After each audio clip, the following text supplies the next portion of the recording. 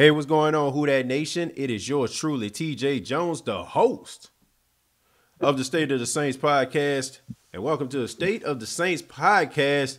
And this is a very special podcast, Who That Nation, because I got an opportunity to do this podcast with my older brother, EJ Jones. What's going on, man? What's up, Who That Nation? This your boy EJ Jones checking in again for the Who That uh, Nation and the uh, State of the Saints podcast. What's up? And thank you very much for taking the time out, man, for you know doing the podcast with me. It's been a long time since we did a podcast together, man. Probably like maybe like a, a year and some change. Uh, we were doing a, a podcast called uh, Two Brothers Podcast, uh, and I talk about you quite a bit on the show, man. Talking about how much um, you know I love sports is because of you, and how we used to like sit down and and uh, read those old college football magazines you used to get from the store every year. Yeah, so tell no man, doubt, tell them, no doubt. Yeah, tell us a little bit about that, man, before we get started, man. You know, so let everybody know you ain't you ain't know who that amateur out here. yeah, I, I, think I'm a veteran out here in these streets for my Who That Nation.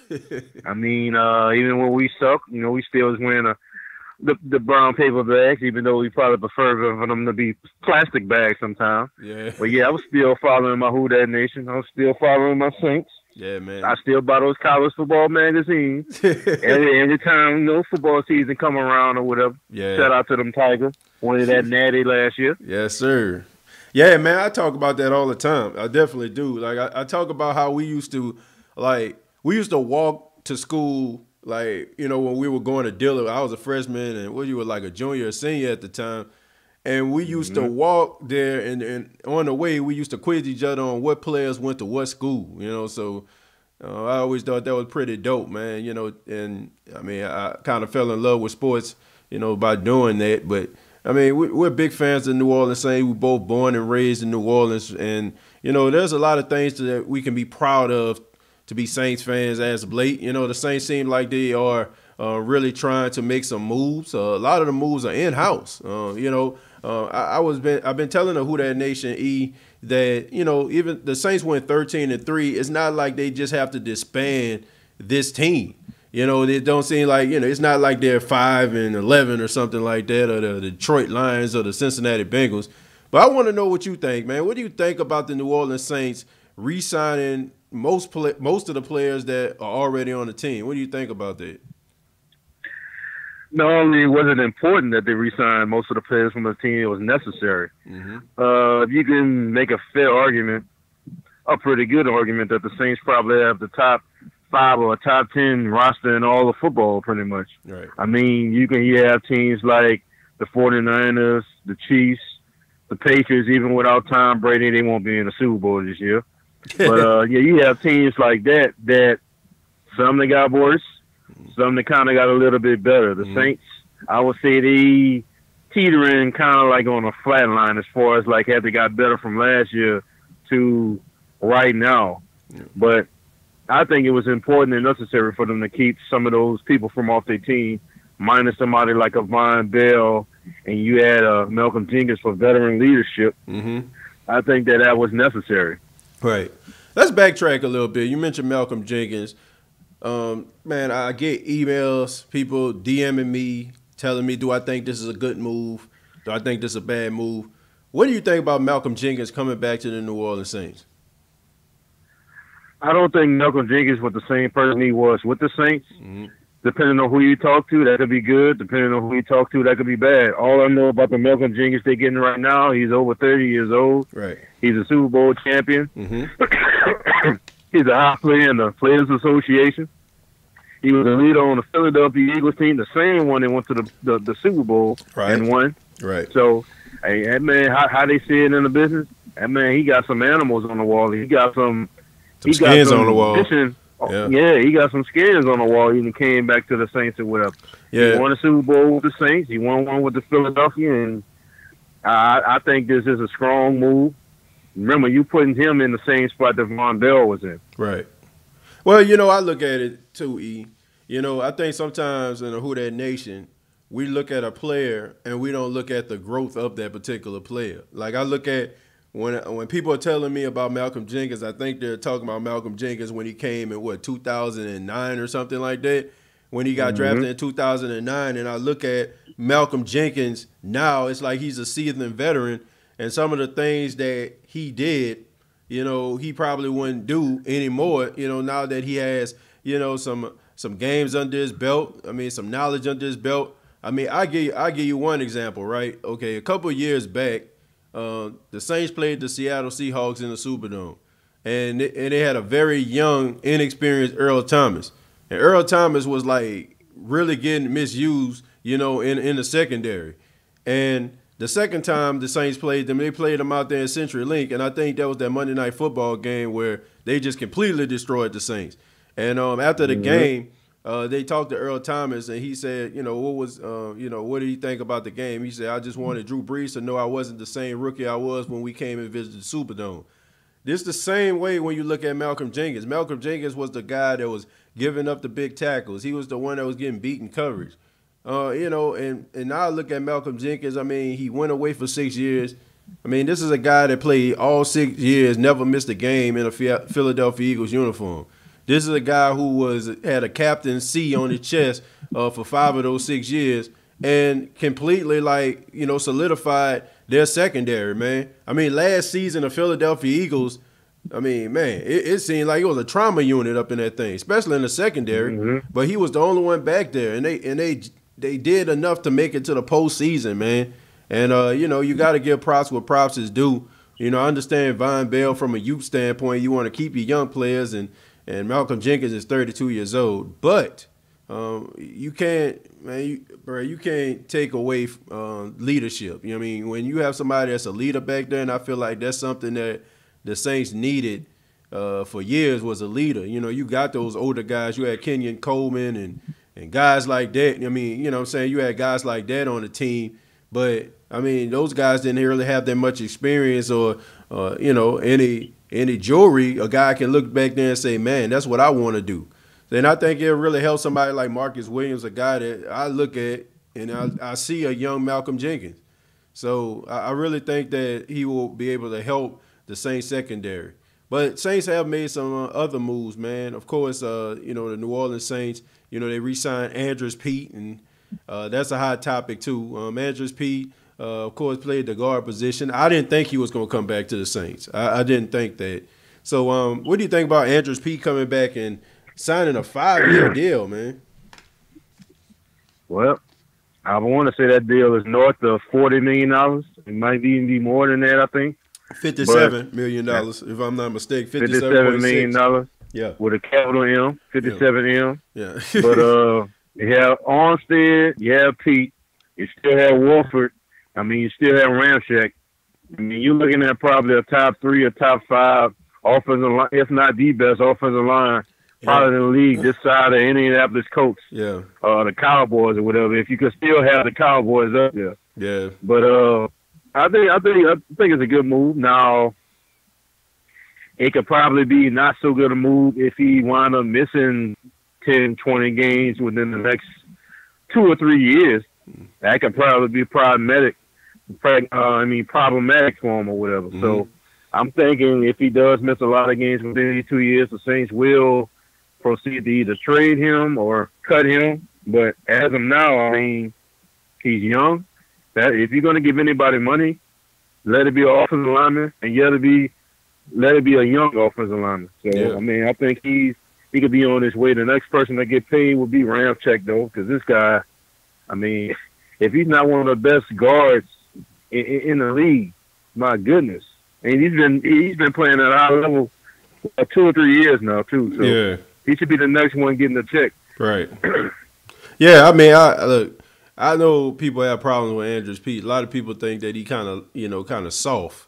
Um, I, I, can see that. I can, I can see that argument with that, man. It's, it's been games where he was getting mowed, you know, mowed over and stuff like that by, you know, by defensive ends, and I think we can look at that Minnesota Vikings game, and I think they need to burn that tape. Uh, especially like you know the majority of the pressure was coming uh, from up the middle where the right guards were. You know, so uh, yep. you know, but I'm not ready to give up on Andrus Peat. I think the Saints really believe in this guy. I mean, he was what a first round pick. I think he was like pick number twelve or thirteen, something like that back in the day. Yeah. So the New Orleans Saints have a lot of confidence in this guy, and um, it, it showed with you know re-signing him for for five years, man. I, I would have thought maybe like three because that seemed like that's the new wave right now. Everybody wants a three year deal. I'm looking at these other teams. Everybody signing three year deals. But you know, to get Andrus Peat on on the payroll for five years, you know, I really think that's saying something, and not just from Andrus Peat's standpoint, but from the Saints standpoint to say, man, this is our guy. But um, let's we let's talk about uh, Janoris Jenkins now. Janoris Jenkins, um, he gets an extension. He signs a two year extension with the New Orleans Saints. Now the first the the first uh, you know he he signed a uh, I think like a uh, he restructured his contract. Um, one day he restructured his contract, and I think he got like seven million dollars signing bonus or something like that. And the next day he ended up getting a two year extension.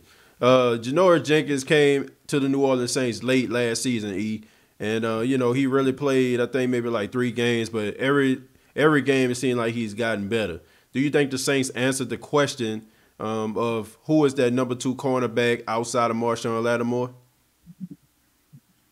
I mean, for now, I mean, if you look at the last six games of the year, mm-hmm. yeah. Would you rather have Janoris Jenkins or would you have Eli Apple? I think a lot if of you people... did a poll, yeah, if you did a poll on Facebook, I think we all have our answer. One thing about Janoris Jenkins that I like when he was with St. Louis. I mean, I said St. Louis. Yeah, Man, he, he, was with St. Myself. He was with St. Louis at the time. They were the St. Louis Rams. Yeah, so Rams. okay, okay. Right. Yeah, you're... oh, okay. Well, yeah, when he was with the Rams with him, I mean, he was dependable. Mm-hmm. I mean, he was a he was a guy you ain't you ain't mess with whatever threw to the other side or whatever. Right. I think he. One thing I like about the Saints secondary now, they got a variety of youth and veteran leadership. Janoris Jenkins, he's 30 years old. You got Malcolm Jenkins now, who probably gonna be like the quarterback of the whole secondary or whatever. Yeah. And you got a bunch of young guys. Yeah. The other young guys they have what? They've been in the league at most four or five years, maybe. Yeah. and you got C.J. Gardner Johnson, who's mm-hmm. probably gonna grow into the mold of a Malcolm Jenkins or somebody like who I really like. Yeah, me too. I like him a whole lot better than Vonn Bell, mm-hmm. who just signed, I believe, with the Raiders, if I'm not mistaken. No, the Bengals. He so, signed with the Bengals. Um, the Bengals, okay, yeah, the yeah. Bengals. Eli so, Apple. Uh, Eli Apple went to the Raiders. He went to the Raiders, yeah. So uh, I, I, really like uh, what they have in their secondary. I mean, I think Janoris Jenkins over Eli Apple. Eli Apple was, for for lack of a better word, confused about what they was doing or just flat out getting beat mm. like a Persian rug yeah. in India somewhere. Yeah. I mean, yeah. I, look, I think the thing about Janoris Jenkins, he, what he brings is confidence. And um, it's not like the game's ever going to get too big for him because he played in the New York market, man, for like four years. And I think that kind of, you know, plays a huge role. It didn't really work out for Eli Apple because, in my opinion, I think his mom was too much involved in his life. And um, you know, I just think that that's one of the reasons why he failed in New York is because um, you know, he was I mean, he was one of those guys that was hard on his sleeve. And we all know, man, you got to have like a cutthroat type mentality, or you got to be Eli Manning to make it in New York. Like you just got to just let things just rub off you. You know what I'm saying? It don't matter. But uh, when it comes to Janoris Jenkins, man, I mean, just seeing this guy, guy walks with a with a swag, a confidence, man, and you know, even in that Minnesota Vikings game, man, he had Stefon Diggs ticked off on the sideline, throwing his helmet, t- mad because he wanted the football. Probably was telling him, "Man, you ain't getting the ball." You know, you know what I'm saying. And and that's how you want it. That's how you want an offensive player. Yeah. You want them frustrated. You don't want them dancing and smiling and stuff like that. Yeah, you want them Keyshawn Johnson and on the on the sideline. So that's what you want. Yeah, man. You want you want to get them, you know, that to mode. You know what I'm saying? Walking back and forth like you you did back in the day with Donovan mm-hmm. McNabb. You you I mean, mm-hmm. in, in, my honest and humble opinion, you know, I just think that Janoris Jenkins is the answer right now. Uh, do I think that they're out the woods when it comes to the secondary? Absolutely not. You know, I'm still not nope. sold on Patrick Robinson. I know he had a couple good nah, games. Yeah. But nah, he, yeah, either. yeah, but he, I mean, he stayed hurt. He, I mean, he stayed hurt. Yeah. I mean, that Tennessee Titan game probably was the best game he had back in the Saints uniform. But I still think the Saints need to maybe draft somebody or pick up somebody in free agency at that nickel corner position because I just think it's a matter of time before Patrick Robinson end up getting hurt. I mean, it's inevitable, you know. So mm-hmm. I, I, mm-hmm. still don't think they're out the woods, but when it comes to the outside, I think they're fine. I don't think PJ Williams is coming back. I didn't hear anything about him coming back, so I don't think that's going to happen. And and the Saints also, uh, you know, extended Kiko Alonso, somebody that I do like, but once again, one of those guys that is, good but can't stay healthy. Um, I, what do you think about Kiko Alonso? He's speedy, rangy, but you know, like you said, can never stay healthy. He didn't stay healthy in Buffalo. He didn't stay healthy in, in, in Miami. And since he's been with the Saints, I mean, he hasn't been healthy. Mm-hmm. He got good range with him, like six three, six four, something mm-hmm. like that. Mm-hmm. And it's always hurt. Yep. I mean, if you could have him on the field with uh Anzalone, I mean, he have a pretty good defense. They have a lot of speed and range in that. Yep. A whole lot. I mean, yeah. that'll make a whole. If Anzalone could stay, if he, if he stay healthy for the whole year, that'll make a difference. Yep. Yeah, I agree. You know, I think that Anzalone is one of those guys that is really good when he's on the field, and also Kiko Alonso, man. I mean, Kiko Alonso is a, a run stuffer, man. Um, he's a guy that I mean, he, he plays really, really physical. I'll never forget that game where he, where he almost knocked Joe Flacco out cold. You know what I'm saying? like, and that game when he had Taylor Gabriel, he picked him up on his shoulder and carried him about 20 yards after he made the tackle. So I mean, Kiko Alonso, he can do some good things. And um, I think that he will be a uh, you know somebody that will help the Saints uh, uh, defense. But now that you look at the Saints, okay, um, the Saints have been wanting a, a, number two receiver. The Who That Nation has been asking for a number two receiver, and they go out and they get Emmanuel Sanders. Now, Emmanuel Sanders is 32 years old. He'll be 33 by the beginning of the year. And uh, my question is to you is, uh, what do you think about Emmanuel Sanders joining the New Orleans Saints? Do you think it was a good move uh, for the Saints, or do you think that somebody else out there in free agency would have been a better answer? I mean, after what he did to the Saints in the Superdome last year, I mean, how could that be a bad move?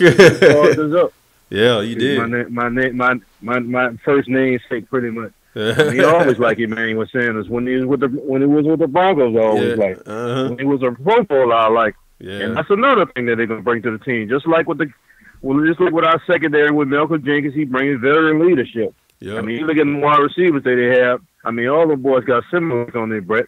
Yeah. I mean, Emmanuel Sanders, that's somebody else to bring. He puts got skins on the wall. Yeah. He won a Super Bowl. Yeah. Played in another Super Bowl. Yeah. He had been in a Pro Bowl. I mean, ain't too many things this dude hadn't did, and he's still going. I mean, even though Michael Thomas a beast, mm-hmm. I'm sure he still can learn from another veteran or whatever. Yeah. So, how could this be a bad move? I mean, it's a it's a it's a better move than having Ted Ginn come in and catch 38 catches for like 400 something yards yeah. and drop about 20 of them. Emmanuel Sanders, he got sure hands. I mean, if Michael Thomas gonna catch a hundred balls, he gonna catch about 70 mm-hmm. maybe for like nine hundred, maybe a thousand yards or something like that. The offense right. that we have, you're gonna have when him and Thomas, both of them gonna have a thousand yards. I'm, I'm just gonna say that right now. He's gonna have at least ten touchdowns. Right. So it's gonna bring some pressure off of Drew Brees and Michael Thomas. I think Michael Thomas might be the happiest person of all that they did get Emmanuel Sanders. Yeah.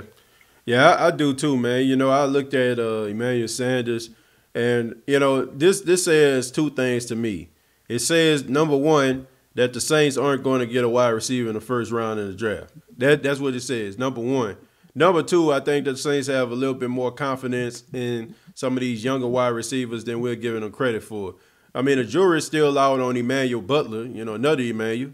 You know, uh, you know, mm-hmm. uh, this guy's like training like he's losing his mind or something like that. Every every Instagram, every Twitter video I see, I see him working out. Um, he's on somebody's football field catching passes, running routes. So I, I, really feel like the Saints made that like his red shirt year last year because they didn't want to put mm-hmm. him on the field and it affects his confidence. And the next thing you know, I mean, you got yourself another Brandon Coleman experiment going wrong. And I, I think when you look at Emmanuel Butler, I think he's a big physical guy. I think he just needed to get a little bit stronger, and the Saints understood that. They thought he needed to get a little bit physical, and they understood that as well. And you know, I'm, I'm I think I'm thankful that the Saints organization didn't listen to the peer pressure of the of the fans. You know, the fans were were clamoring, warning Emmanuel Butler to hit the field. Why Emmanuel Butler ain't out there? Where's Emmanuel Butler? Yada yada yada. But they didn't listen, and they and they put him on the sidelines, and they allowed Lil Jordan Humphreys and Krishawn Hogan to go out there and play.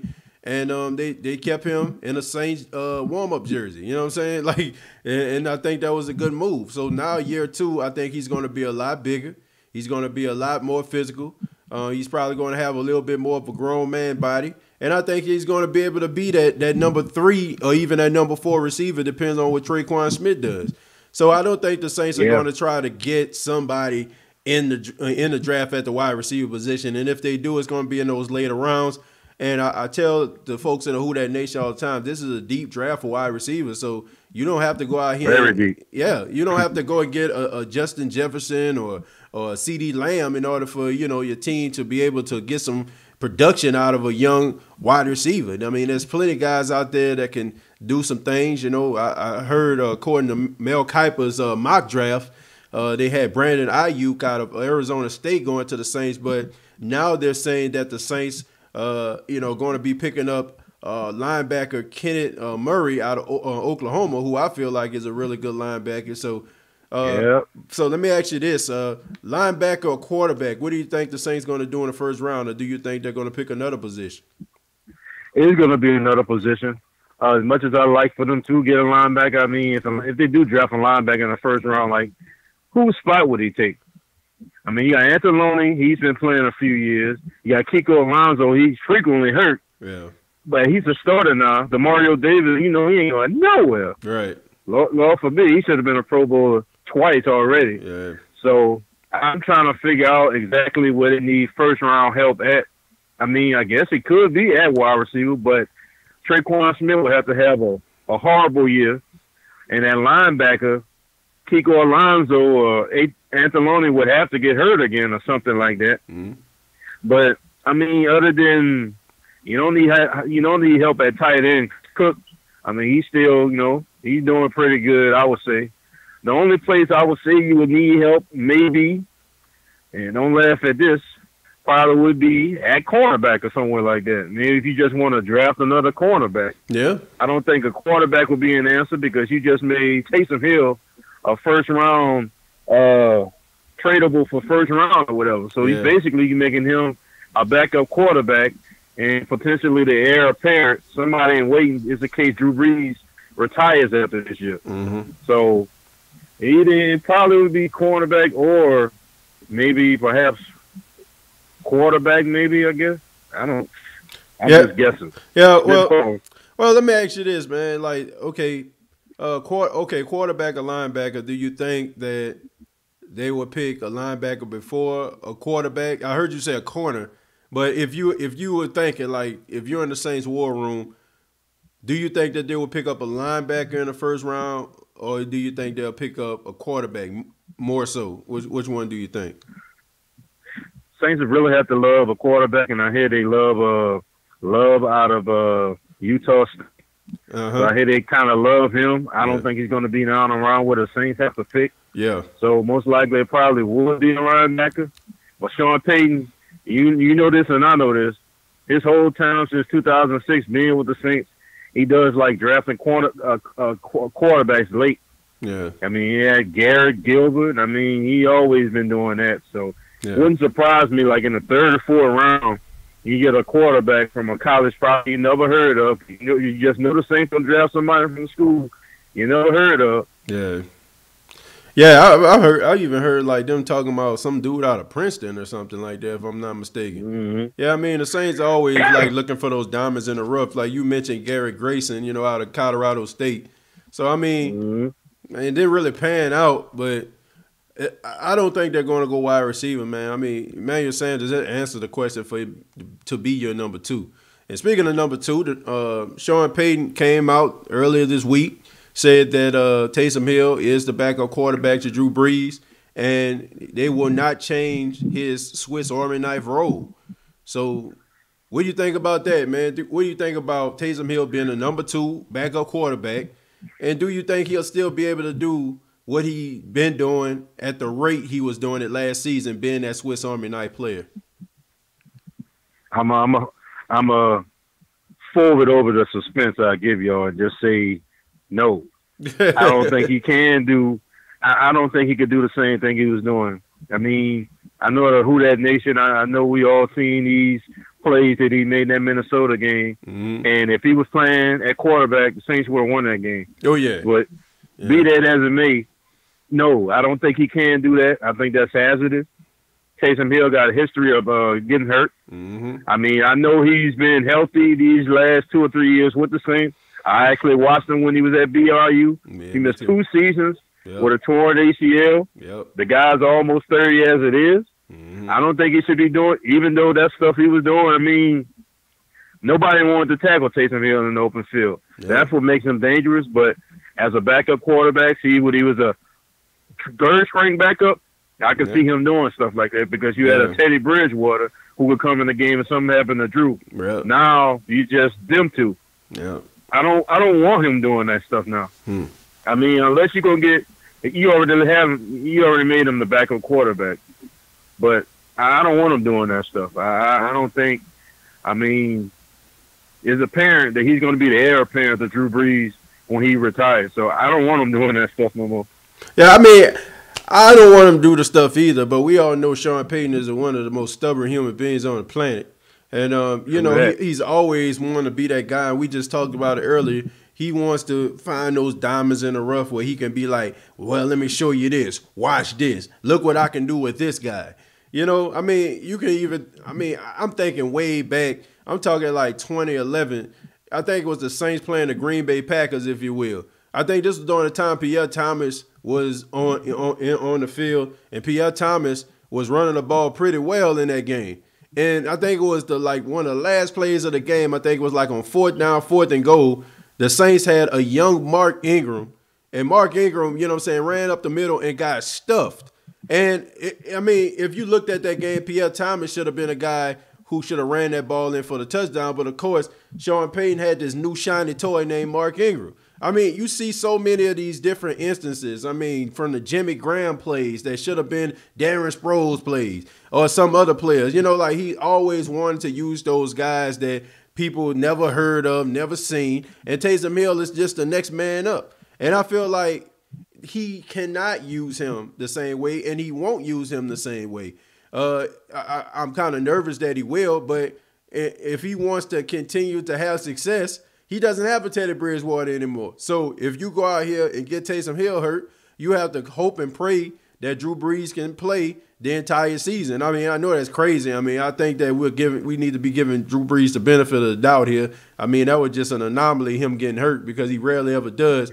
But I'm saying though, you you can't be doing the same thing. I mean, when Teddy Bridgewater was in the game, you noticed that his production and some of his Swiss Army knife role kind of changed because he was the number two backup. So there's only two things that I can see that can happen here. It's rather the Saints are going to get somebody in free agency that's a backup quarterback to Drew Brees, so Taysom Hill can go ahead and continue his role as that Swiss Army knife, or they're going to draft a player like Jalen Hurts that can come into the game that can do some of the things that uh, Taysom Hill was doing and, and allow Taysom Hill to be served as a backup. Or maybe he can still do some of those things because you still have Jalen Hurts learning.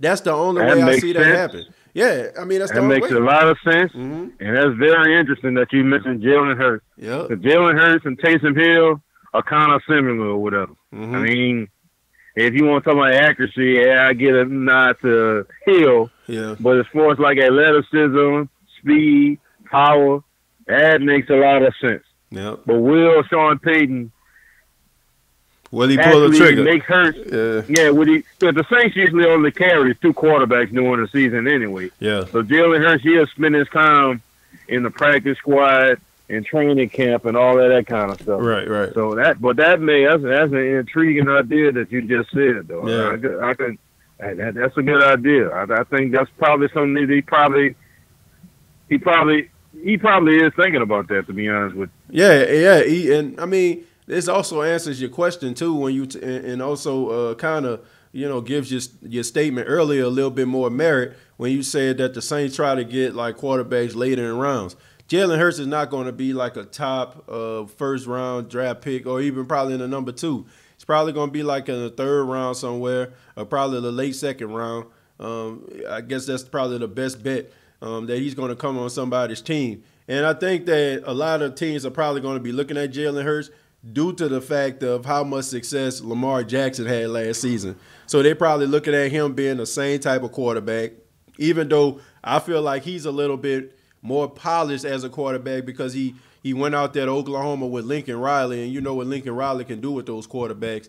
He kind of you know showed his his arm strength and his talent. So I think that he would be a good fit for the New Orleans Saints. You know, as far as like the things that he can do, he can roll out of the pocket. Um, I, I, feel like Jalen Hurts could be possibly the, the second coming of Russell Wilson if he goes to the right team because he plays almost similar to Russell Wilson. Russell Wilson extends plays, you know, scrambles around the pocket, very elusive. Uh, you know, eventually Jalen Hurts is going to be one of those quarterbacks that's not looking to run. I think probably in earlier in his career, he's probably going to be one of those players that's going to be ready to run. But later on in his career, he's probably going to be one of those people like Russell Wilson is now, who is not looking to run, but will run if he has to. So, uh, you know, I think that Jalen Hurts would be a good fit for the New Orleans Saints. Uh, but Taysom Hill, back to, back to him, back to Taysom Hill. Uh, my question now: Do you think that Taysom Hill is the undisputed future of the New Orleans Saints?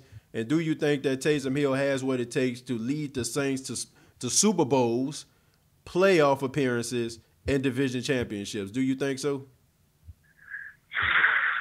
That's a tough question. He wanted to play Nostradamus. I mean, uh, potentially, yeah, potentially.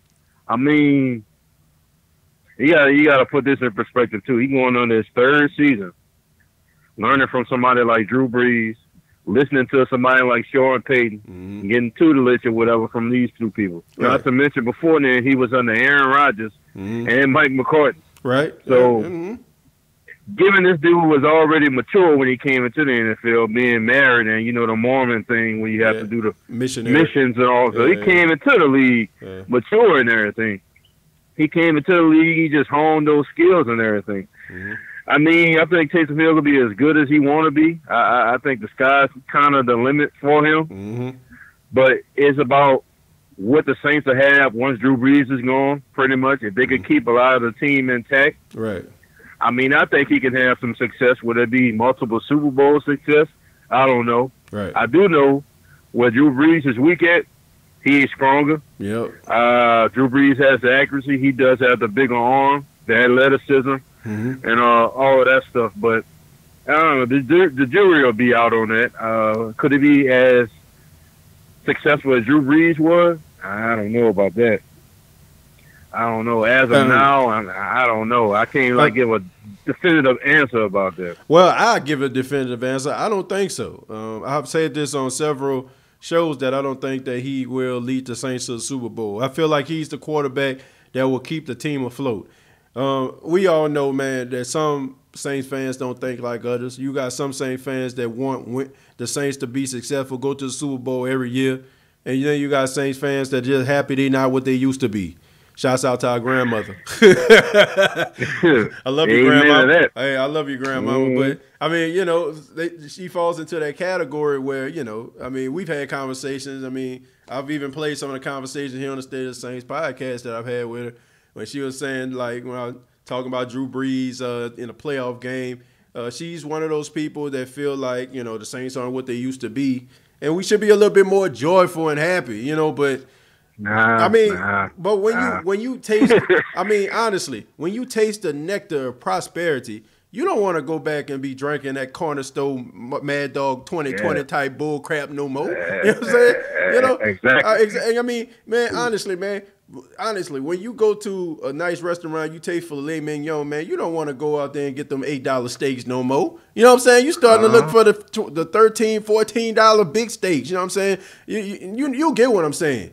You know, you don't want to keep exactly on, what you're saying. Yeah, you don't want to go back. You know, you don't want to go back to those old times. It's good to reminisce about the old times. You know, me and you reminisce about the old times all the time. Sitting on the floor, you know what I'm saying? Listening to the Saints game, Jim Henderson, you know, in in, in our grandmother's den area. You know, we, we mm-hmm. and, and, and uh, getting putting a figure four leg lock by our uncles. You know what I'm saying? Like we love mm-hmm. reminiscing about those type of times, but I mean, when you taste success, man, and you taste like Super Bowls and you, you see where this team can possibly go. you know, it, it's hard for you to want to go back to those particular points, and it's hard for you to want to stay patient, especially when these these teams have been so successful over the past three years. I mean, three years the Saints have had better regular season records than any other team in the NFL. So you don't want to see them go back. But in my honest opinion, I don't think that he's the answer. You know, I think that, like I said, some fans will be excited. You know, he throws the ball or he makes a long run and they they can cheer and you know put up the um, Tom Benson umbrellas in the Superdome. But you know, are they winning any games? Is that generating the, the regular season wins? Is that generating to division titles? Is that the transition in the first round byes and Super Bowls? My honest opinion, I don't think that that's going to happen. E. I, I just don't. I just mm-hmm. think that he is going to be the guy that's just going to right the ship until the Saints possibly get another young uh, quarterback out of college, and I think that guy is going to be able to lead the Saints to you know the promised land. Let's just hope that you know somebody like Sean Payton isn't gone or something like that, and they have to get a new coach in the process. But I mean, that just that's just the way that I feel about it. But I mean, the Saints they they do still look good on paper, man. I mean, looking at their offense, it seems like the offense looks better. Uh, you know, the running back position, uh, Alvin Kamara, he talked about it. I'm, I'm, that's the final question I'm gonna have for you, E. Alvin Kamara, he came out earlier this offseason, said he was playing the entire season at about 70%. Uh, what do you think about Alvin Kamara's comments? And uh, do you think that Alvin Kamara is going to have a bounce back year this year? Well, well, I, I, I disagree. I respectfully disagree with his comments. I don't think he was playing at seventy percent in that Vikings game. I, I, think he was playing at more like fifty-two percent. To be honest with you, I, I, I, think he might have had a long night. Uh, he might have been injured, and maybe just him in the middle of the night someone right with him. Mm-hmm. The only person that seemed like there was hundred percent in that whole game was Taysom Hill. Yeah, I mean Michael Thomas was Michael Thomas, but you know, I don't even think he was Michael Thomas doing it. The only person that was ready to play in that game was Taysom Hill. Yep. That was the only person. And he damn near won the game by himself. Yep.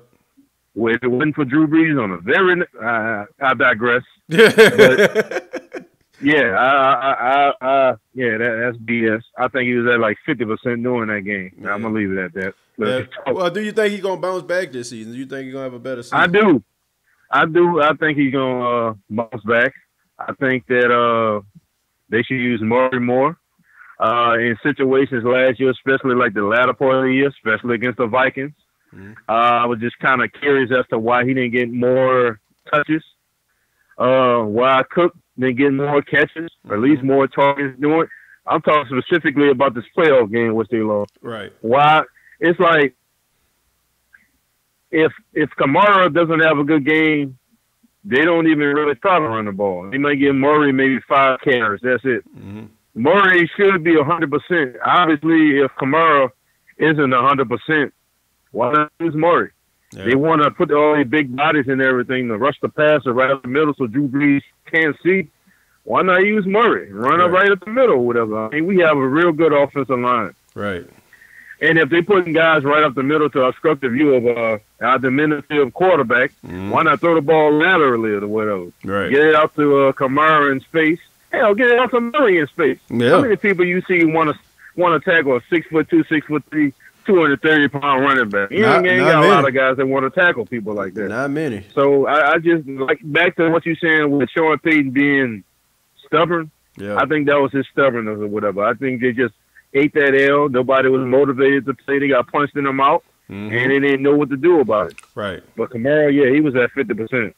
Yeah, I mean, for sure. Yeah, I mean, I, I, think I think it's a bunch of BS, man. You know, people get mad at me because they say I'll be getting in on Alvin Kamara because, you know, I look at Alvin Kamara, I watch some plays. Alvin Kamara quit on plays. I seen Alvin Kamara like run out of bounds when he can turn the ball upfield, and maybe it's because he was at seventy percent Maybe that's the reason why he ain't try to cut it back upfield because he was like, man, maybe the team they need me to be out here, whatever, you know. Like, but at the same time, man, I just don't want to see what I saw last season out of Alvin Kamara. I know he can play tougher than that. I know he's better than what he played, and you know, I just feel like if he was at seventy percent, then I gotta blame Sean Payton, man, because even though Alvin Kamara is as good as he is, man, Latavius Murray was averaging 158 yards from scrimmage uh, when Alvin Kamara was out those games. It wasn't like uh, you know Latavius Murray was out there just playing like hot garbage or something like that, and Kamara just came in. It was the fact that Latavius Murray was out there being a bell cow back, and then when Alvin Kamara came back, it's like Sean Payton was like, "Well, back to the line, you know, get to the back of the line."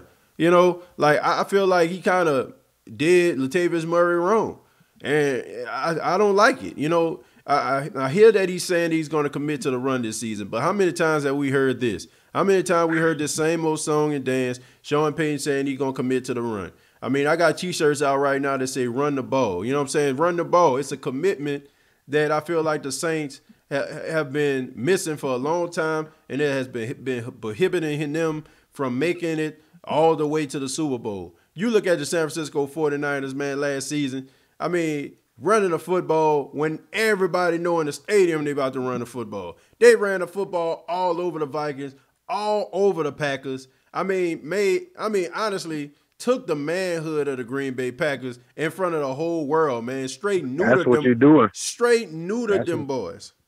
You know? That's what you're doing football well. I mean, it's a manhood game. You ain't got the man, most likely you ain't gonna win. And Absolutely. Sean Payton saying he gonna run the ball is like Hamburglar was saying I'm not gonna gonna, eat eat, gonna start eating tacos right, exactly. now. right. I'm gonna start eating tacos. I ain't eat hamburgers no more. Exactly. Sean Payton is a quarterback's coach. hmm He wants his quarterback to throw the ball 40, 50 times a game or whatever. Yep. Drew Brees passes and went down or whatever, which they should. I was saying this was like the last two years. Right. I don't think he should throw the ball more than 30 times a game. I think they should run the ball 30 times a game. Well, Make the game go faster. Well, if you're gonna have players like that, I mean, you gotta have, man, you gotta have a guy with an explosive arm. And Drew Brees doesn't have that explosive arm anymore. I mean, you look at you look Nope. at the Kansas City Chiefs, man. The Kansas City Chiefs, they throwing the ball all over the field because Patrick Mahomes is a freak of nature. He can throw the ball Yeah. like on the run 60 yards, you know. But how many people can do that? Drew Brees can't do that. Drew Brees is a, Nope. a time on task quarterback that gets the ball where it needs to be. Drew Brees is like run. Look, Drew Brees is like run to the end of that barn, and then as soon as you Mhm. get to the end of the barn, turn around. That's that's what he is. You know what I'm saying? Like he's Yep. a he's a time on task quarterback. He's extremely accurate, but I mean, is is you know not going to be where you need it to be. He's 41 years old, and you're going to have to run a football in order for you to generate any type of success. That's just a fact. Yeah, but but this has been the State of the Saints podcast. Once again, I'd like to thank my brother EJ Jones. Thank you very much, man, for joining the show tonight. Really appreciate it. Man, no, no problem, man. No problem. I got a figure four reference out of the deal. It was a good night. hey man, it's the truth, man. I know you remember those days, man. Shouts out to our uncles Isaac and Jerry, man. All of us are huge wrestling fans, and I remember, you know, watching the old WCW, you know, and you know, my grandparents used to leave the house. You know, we used to move the furniture around a little bit, you know, grab the blankets, you know what I'm saying, as if as if they were our Ric Flair robes and you know I'm get to the middle of the floor and you know, eventually we are, we would be what they call the jobbers, you know what I'm saying, because they were much bigger than us. And The would go out- still hurt. yeah.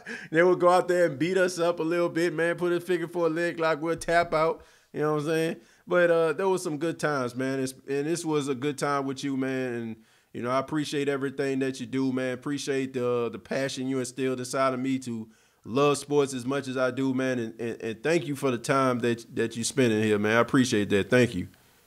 Man, no problem. No problem. Who that? Yeah. Yeah, y'all check us out, man. Check us out, uh, the State of Saints podcast. Subscribe to the YouTube channel, youtube.com, search the State of the Saints podcast. Uh, Facebook.com, search the State of the Saints podcast. Uh, E, uh, if they want to uh, find you, how can they do so, man? Uh, you can find me on my Facebook, uh, Emmanual Jones Senior, and uh, uh, EJ uh, E Jones Art because I do my own art and everything. I will be coming up with a a page for the State of the Saints, also a Facebook and a Twitter page. So look out for that. Yeah, man. Yeah, y'all check it out, man. Also, man, his artwork, um, the links and stuff like that gonna be in the description, so y'all can find out, you know, see some of his artwork, see what he does, and uh, man, thank y'all for y'all love and y'all support. This has been the State of the Saints podcast.